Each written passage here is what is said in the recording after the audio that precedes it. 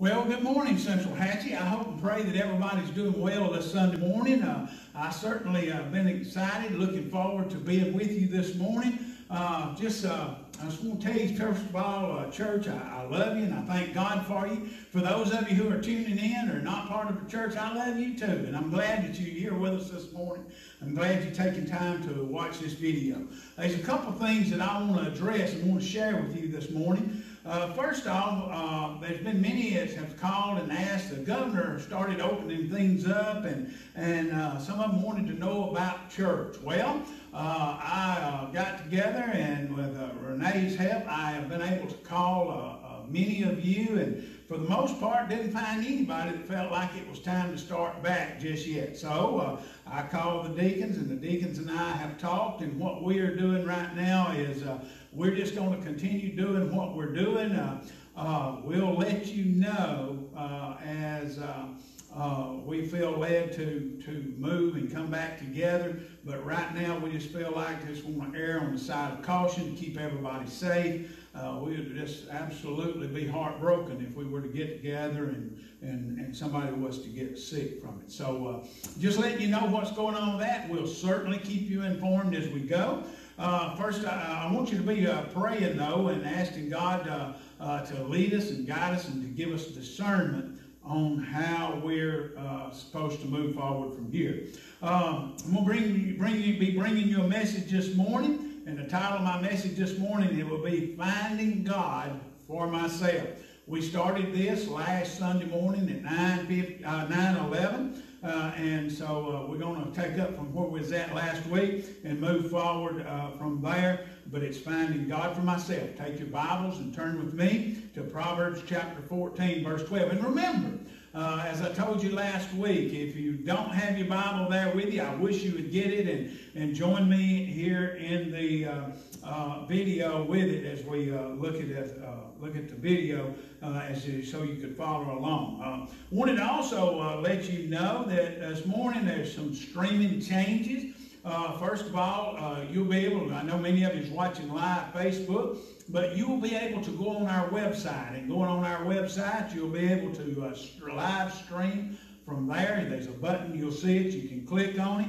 Uh, if, you, uh, if you do that, I also want you to know if you're on Facebook, uh, I'd like for everybody to share their their their videos with their uh, with their contacts. Go down to the bottom of the page. There's a share button. Click on that and just follow the prompts on that. Share it with your uh, uh, people. Help us get the gospel out. It's important for us to reach people with the gospel.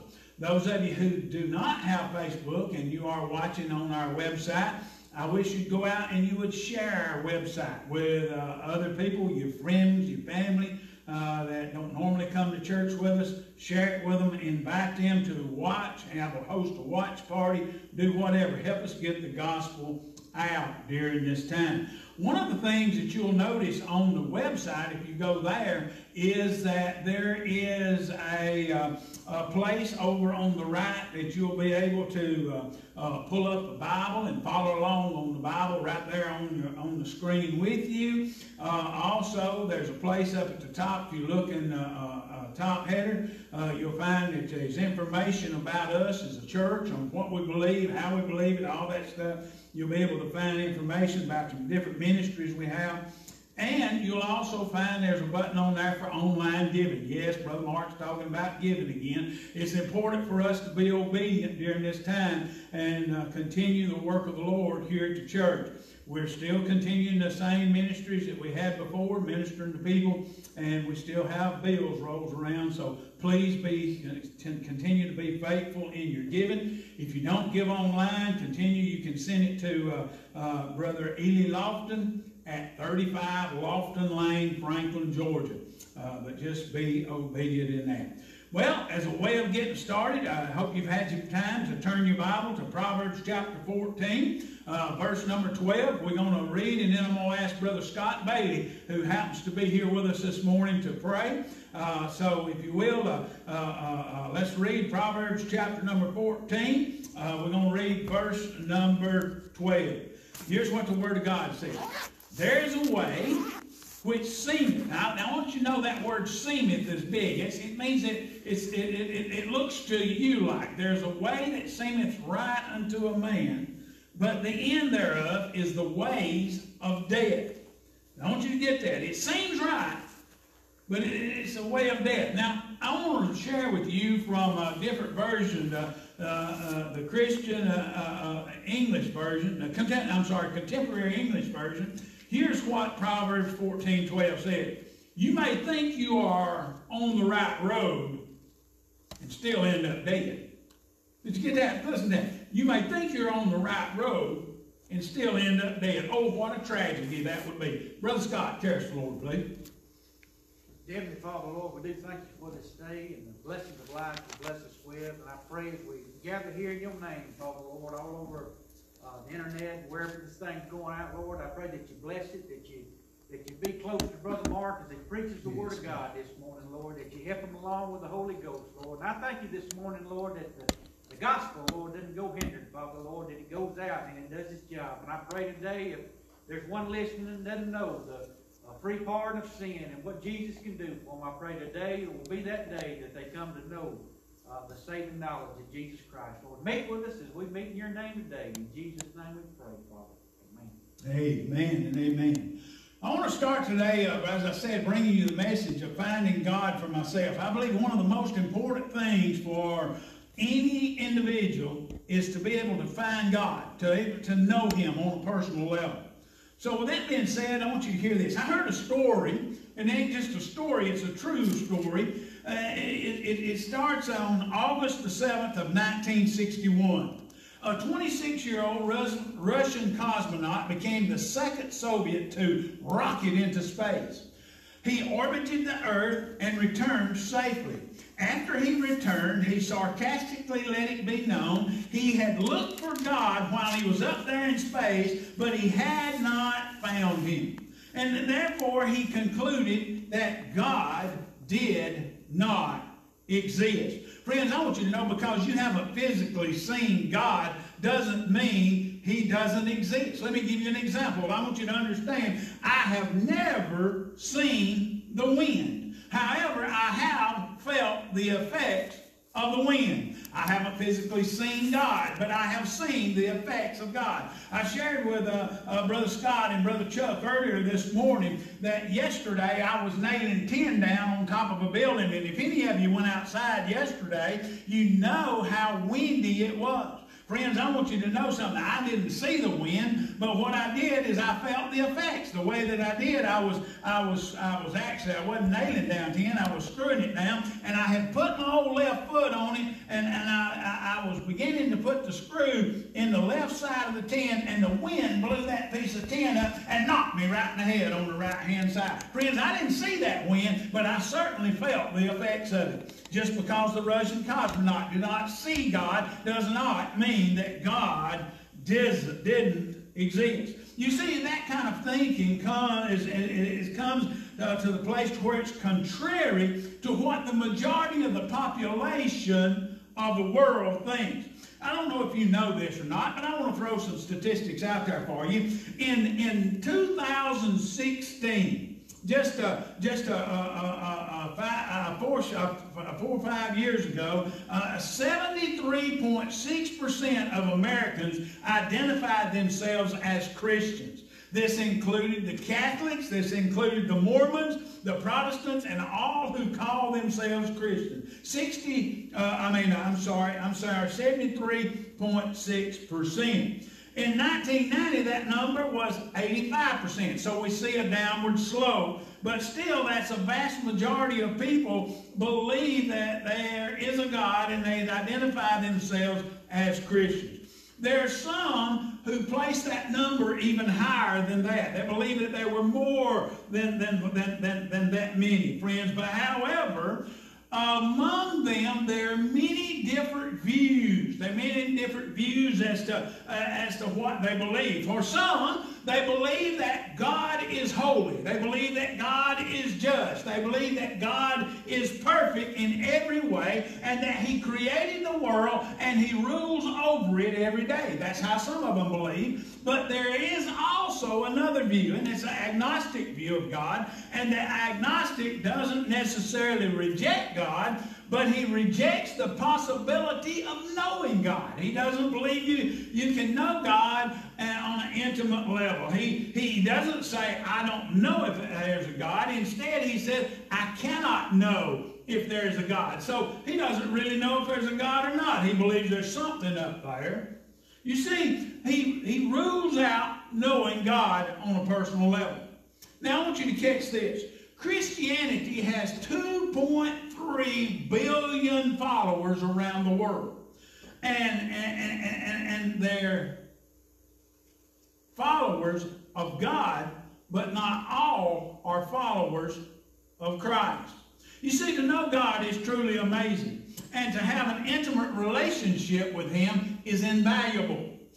With all this said, it caused me to ask a few questions. Now, if there's that many Christians around the world, I don't know about you, but I got a, I, I just got a different way of looking at things and, and, and some things that I thought about. Let me tell you what, if people know him in the church, if there's that many people who claim to be Christian, I started to ask myself, then why are there so many people that are self-medicating because of depression in this world when we have someone we can cast all of our cares upon? Why is it so many people are find, looking for an escape at the bottom of a bottle? Why is so many people trying to uh, uh, uh, be in a, in a drug-filled stupor, uh, trying to escape the reality of the day that they're living in? I don't understand it. There's that many Christians, and we're uh, 70 something percent of that. Why is it so prevalent in this time? Why are there so many orphans in this world? Why are there so many kids that, that have no home? Why are there so many in foster care? Why are there so many that, that that's nowhere uh, to, to live, nowhere to, uh, no one to call daddy and nobody to call mama? Why are there so many that way if there's truly that many Christians?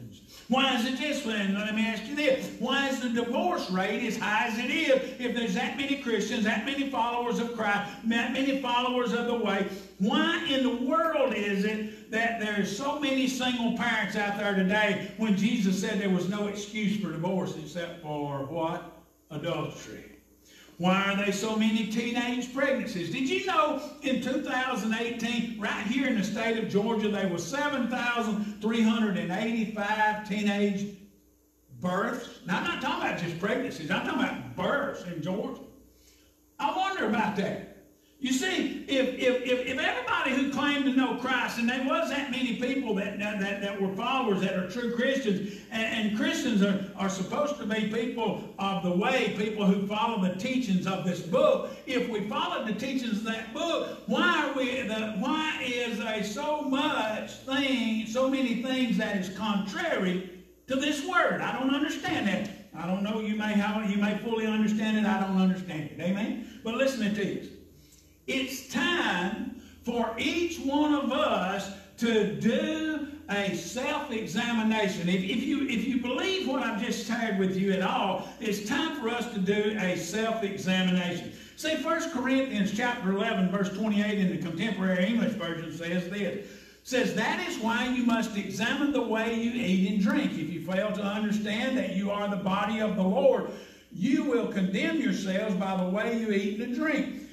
That's why many of you are sick and weak and why a lot of others have died.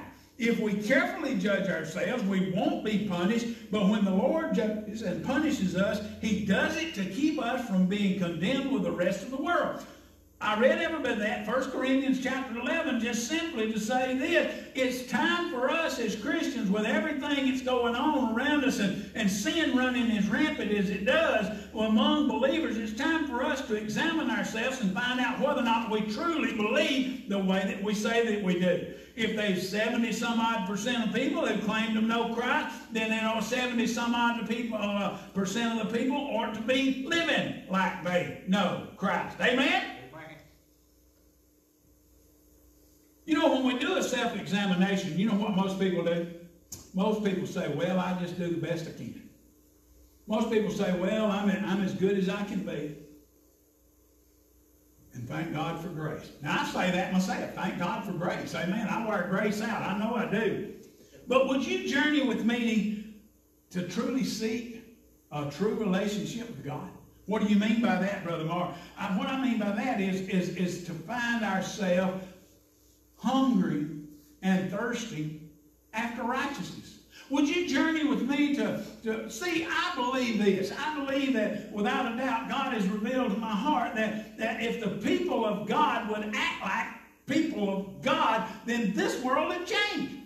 I believe it with all my heart. So, so journey with, if you would journey with me and to truly seek God, would for many, their God is simply the church to come to the house of God. You know, I had somebody tell me the other day, he said, well, I, I don't feel like I have. I, have been, I've been with God in, in, in, in, several weeks now. I got news for you. If coming to the house of God is what is your God, then you've got the wrong God. Because all it is is a, is a physical being. I got news for you. The same brick mortar that built in the wood that built this could have built a bar. They could have built a, a, a, a house of ill repute. You could have built anything that you wanted to out of the same brick. And I guarantee you the man that sold the stuff didn't give a flip what it was built. Listen, you and I got to realize that a relationship with God is more than the church. Would you be willing to, to, to say uh, to God, I want to know you more? That is the first thing, and I'd like to ask you today. Would you be willing to say to God, I want to know you more? And I believe it's the answer that you'd say this morning would be absolutely. Well, Lee Strobel uh, uh, was an atheist, and, and he had a good job. Uh, he was the legal affairs editor of the Chicago Tribune, and he was financially secure, and he saw little need for God. Do you know that there's a lot of people that sits on the pew of the church, uh, a lot of people who claim to be Christian that, that really sees very little need for God? You say, how do you know that? Because they're not searching the scriptures like it was precious silver and gold. They're not, they're not digging into the word. They're not, they're not searching for him. Listen to this. He thought, in fact, that the very idea of God was ridiculous and wasn't even worth investigating. He felt there was no reason to search out for God. At the, uh, something happened though.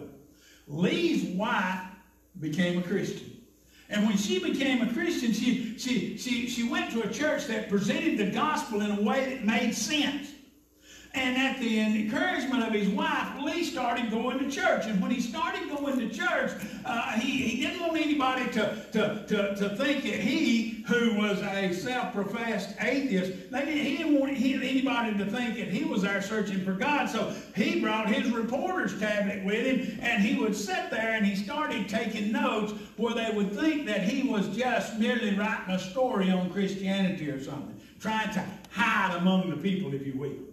But what he did, you see, after his first visit, something happened. The first visit led to a second, which led to a third, which led to a fourth, and so on and so on. And he began to look at the evidence that was being presented unto him. Let me ask you this, church. Have you ever stopped and just examined the evidence of Christ?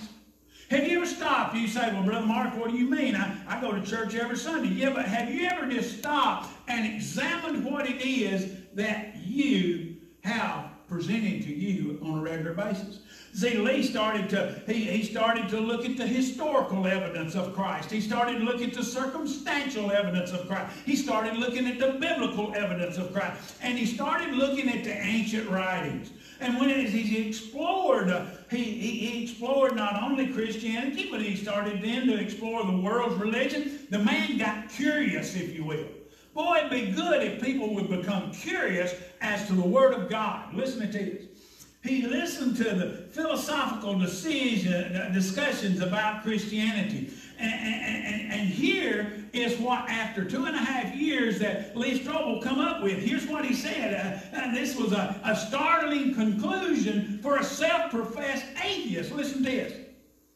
It would take more faith not to believe in God than to believe in God. How about that?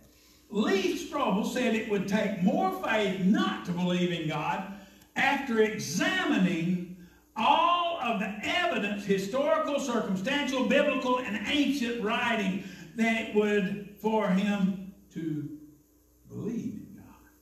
So with that, he, he after two and a half years, he gave his heart to the Lord Jesus Christ. I think most of us would agree that that that that that there is someone out there. Wouldn't you? Wouldn't you say that there's somebody out there? Most people say, "Well, I know there's a creator out there." And by the way, many of those that do that are identifying themselves as Christianity because they say, "I know that there's somebody out there," but they don't really know who that somebody is.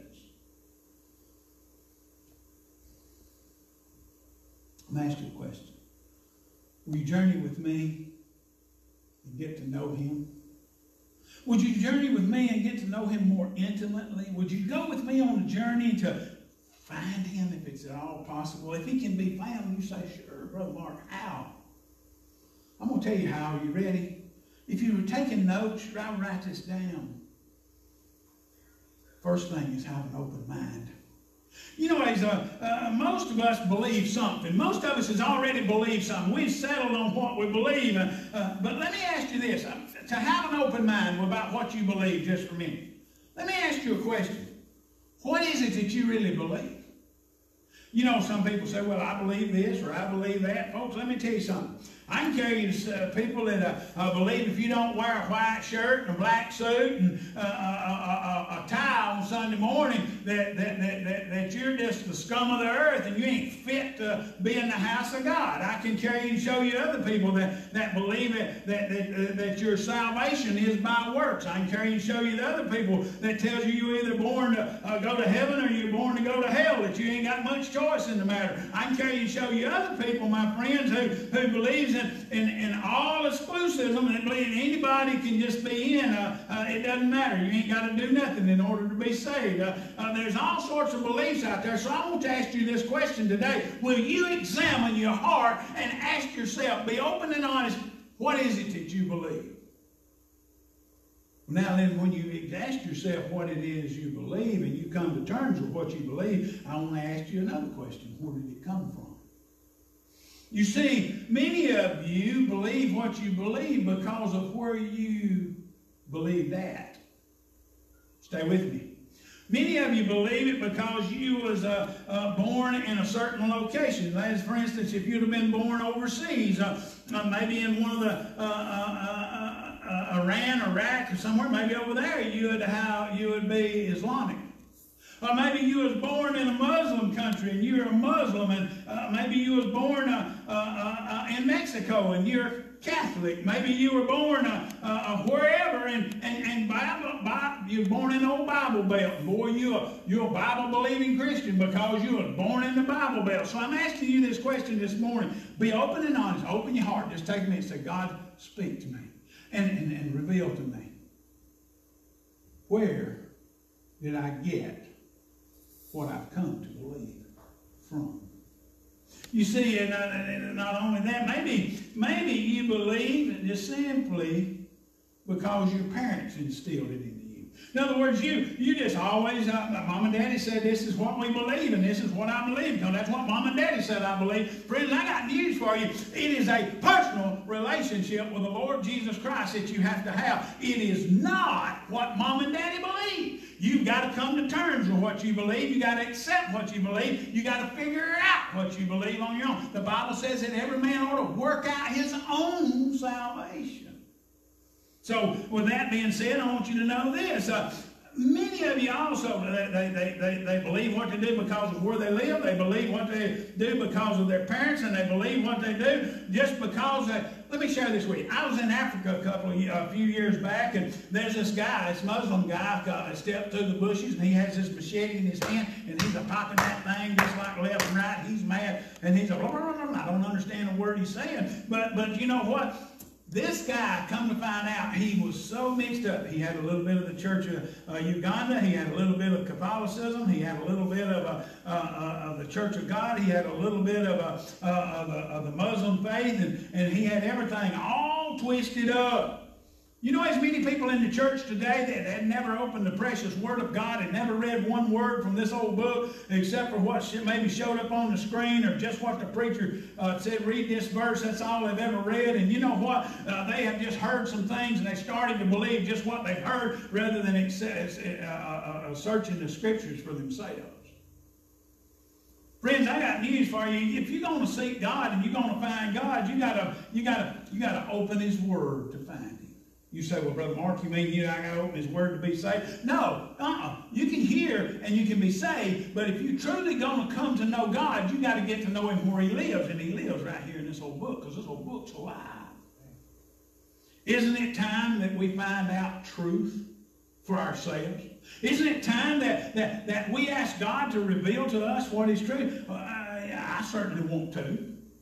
You see, the historical evidence is clear. I want you to just back up. If we're to search for God, I want to stop and think just for a minute. Some people say, well, I don't know, Brother Mark. That old agnostic says, well, I don't believe I can know God. Well, let me ask you this. If we stop to look at the historical evidence for God and we start to look at the historical evidence of, of knowing Him, then there's one thing that is clear. Nothing has ever impacted this world like Jesus Christ. Let me give you an example. If we were to go back, and all of you know this, if you'll, if you'll go back and you'll see that, that our historical times was divided in BC and AD. BC was before Christ, of course, and a lot of people say and AD was after death. No, that's not it. It's, it's the year of our Lord. It is a, a, a, a demomini, or however you say it. Uh, but anyway, it's the year of our Lord, the years after Christ. You see, when Christ came and lived on this earth, it divided history. Our history is divided by people say, well, I don't know if he really existed or not. Well, let me tell you something. It wouldn't have divided time if he hadn't been here. Amen? Friends, I want you to know, not only did, the, did, the, did everybody believe back in. So let's begin uh, this morning. I said, if you want to truly for him, I beg you, I implore you, I ask you with everything, I beseech you, as Scripture said, I want you to begin by having an open mind. You know what that means? That means you got to put aside some of your preconceived notions of what you have already thought, and you got to say, God, I need the truth.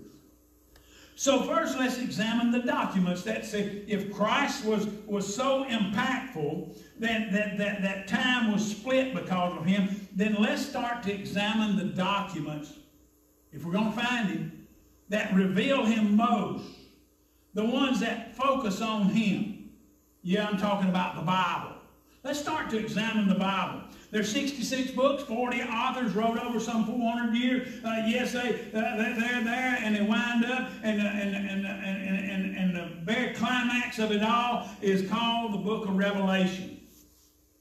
You'll see when uh, Jesus said, I mean, the Bible says that God was Alpha and Omega, the beginning and the end. Well, he wrote about the end in this book, and it's the Revelation, which is simply the drawing back of the curtain you see, the, the word revelation of uh, the word of God is simply the drawing back of the curtain, opening the curtain up to reveal Jesus Christ to us.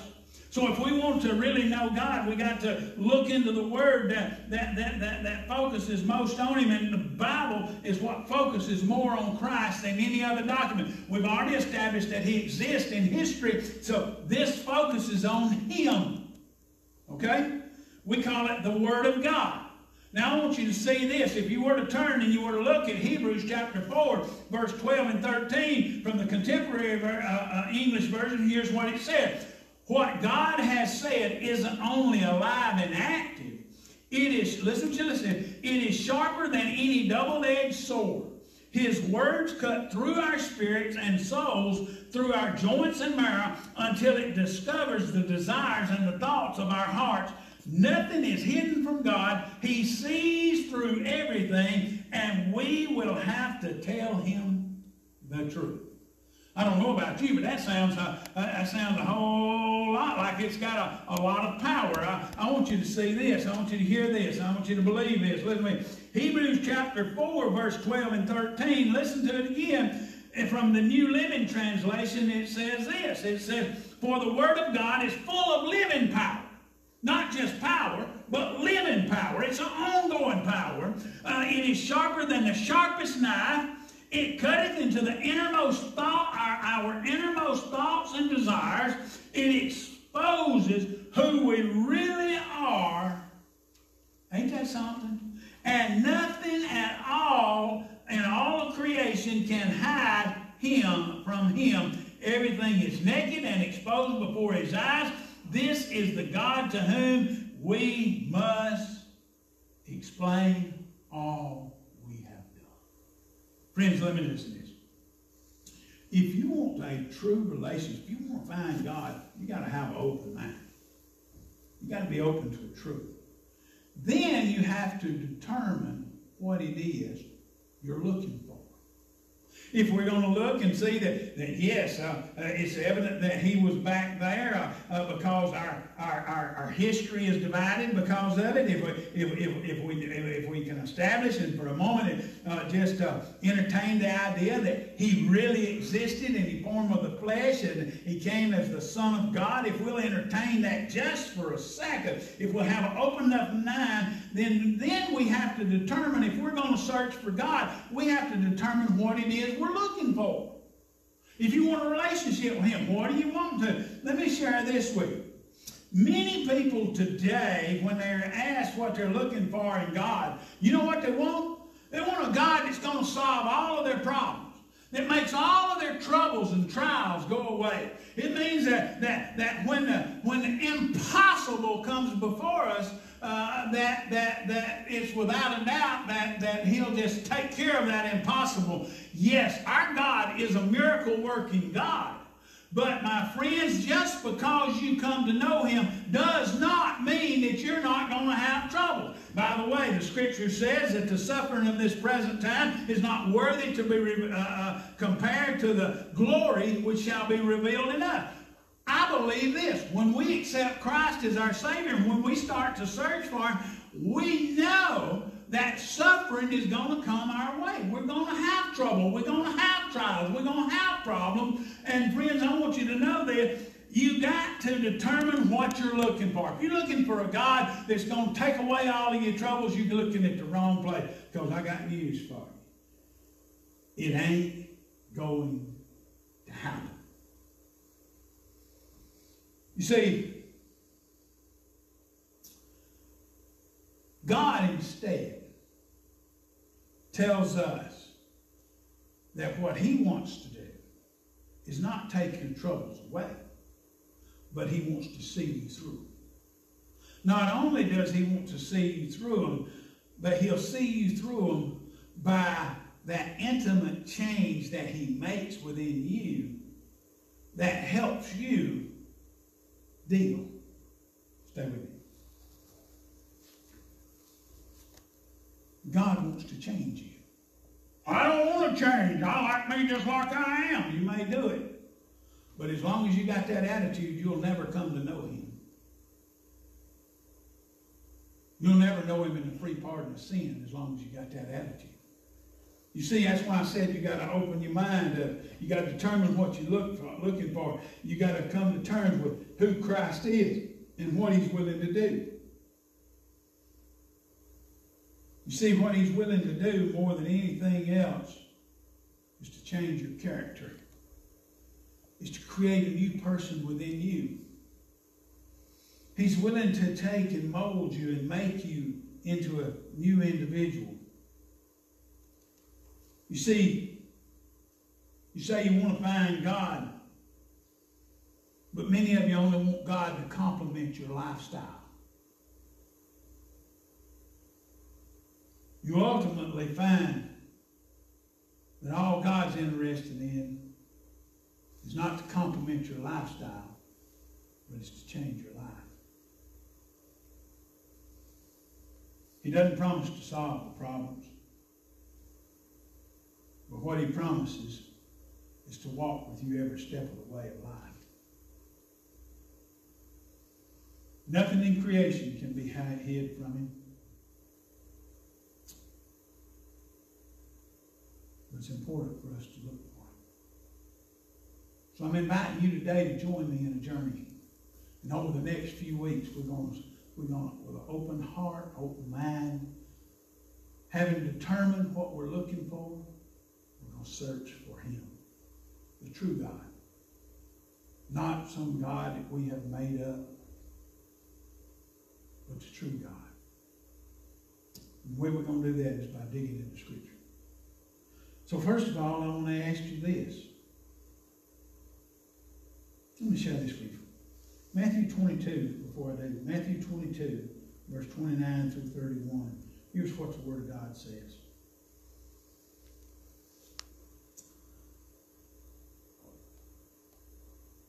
As Jesus was speaking to those who were seeking, they were asking him questions. Here's what he said to them. You're completely wrong. You don't know what the scriptures teach. And you don't know anything about the power of God. I read that to you to say this. That's in Matthew chapter 22, verse 29, 29 and 30. I read this to say this. You and I, if we're going to know the true God, we've got to look at him look for him in Scripture. It's his word. It's the way he reveals himself. If you want to truly know him, and I'm, I'm asking you to go with me on a journey to find him. But I'm going to ask you to go to the journey. And the first step is that we embark in the gospel. If we're going to find Christ, we've got to find him first in the gospel. So I'm going to ask you, if you will, to let's go to the gospel of John. And over the next week, I'm going to invite you, I'm going to invite you, I'm going to urge you, I'm going to beg you, if you will, to please read the Gospel of John. I believe that God, John will give you an overview of the Word of God. And you can start to find of how He works and what God's trying to do through His Son, Jesus Christ, in the book of John. You see, if, if, if, if all of this is the revelation of Jesus Christ, then we need to look at where He's revealed first, and that's in the Gospels. And friends, not only that, if you're seeking God, you really want to know Him. Matthew chapter 7, verse 7 and 8 says, Ask, and it shall be given you. Seek, and ye shall find. Knock, and it shall be opened unto you. If you really want to know God, He can be found. He'll be found in the books, this precious book. All 66 books reveal Him one way or another. And friends, I want you to know something. Your invitation today is to know Him. Not just know about Him, but to know Him. Maybe you're there today and you know what? You're already ready to accept Him as your Savior. You're already ready to ask Him to come into your heart, save your soul. God's already initiated a relationship with you when He took on the form of flesh and He went to the cross and died for you. He wants you to know Him. He did it as I preached at 9-11 this morning, our 9-11 service, that you could be reconciled to Him. But Mark, I'm ready. I want to know Him that way. Then I have to ask you a question. Do you believe in the finished work of the cross? The fact that Jesus went to the cross and He died there for your sin? Do you believe that He paid the price? That's what Scripture says. Scripture says that, that the wages of sin is death, but the gift of God is eternal life. And He paid that price. He paid the wage for your sin. And He offers it to you freely. Right where you are, right where you are, would you just simply bow your head and pray with me? Say, Lord Jesus, I believe that you went to the cross for me. And as best as I know how, I receive you as my Savior. As best as I know how, I believe and I trust and I accept what you did. Lord, I love you. Thank you for coming into my life. Now save my soul. Forgive my sin. In Jesus' name. Amen. I want to ask you a question. Did you pray that with me for the very first time? Asking Christ to come into your heart? If you did, I'm going to ask you a question. Are you ashamed of it? Are you ashamed of what he did? Are you ashamed of what he's doing? Not ashamed, then I'm gonna tell you what I'm gonna ask you to do. I want you to tell somebody, if not me, tell somebody today that you've accepted Christ as your Savior. And I want you to, not only that, if you wanna talk to me, message me on Messenger. If you wanna, if you wanna send me a, a, something on email, all you gotta do is go to our website, click on the prayer, that goes straight to my office, and I can answer any questions there. It'll just be between me and you. If you wanna, if you wanna call me, my telephone number is seven seven oh eight six two eleven sixty-eight. I wanna, I wanna, I wanna rejoice with you in your newfound faith as we begin this journey of seeking Christ. You say, Brother Mark, I've been saved forever. How do I, how do I know if I need Christ? Well, let me ask you this. Do you fall in part of that bunch that does not truly know Him, or you just want to know Him more? Then let me tell you this. The most important thing we can do on any given day when we rise from our bed is to seek God. And friends, over the next few weeks, we're going to be seeking Him. Please, if you will, commit. Just go ahead and send me a text saying, I will. I will commit to the book of John. Thank you. Hope y'all have a great day. I love you, and uh, we'll see you next week.